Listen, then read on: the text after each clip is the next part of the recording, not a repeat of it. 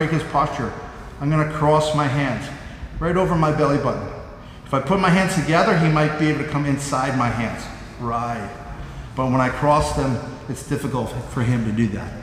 And I just wait for him to put his hands on my shoulders to start to break my guard and wait for some weight to come in. And when I feel his weight coming onto my body, then I bring him forward. And now here, I reach with both arms in my head. I reach to the ceiling and pull my knees up. I'm gonna hold his neck in place, and then I have to get my forearm in front of his shoulder. Palm facing toward me, palm facing away. Now I have my pinch headlock. I pull his head down lower than me. I want butterfly hooks now. I grapevine his legs so I can put my butterfly hooks in. And now, just like the butterfly sweep, this goes on the mat, and I sweep him.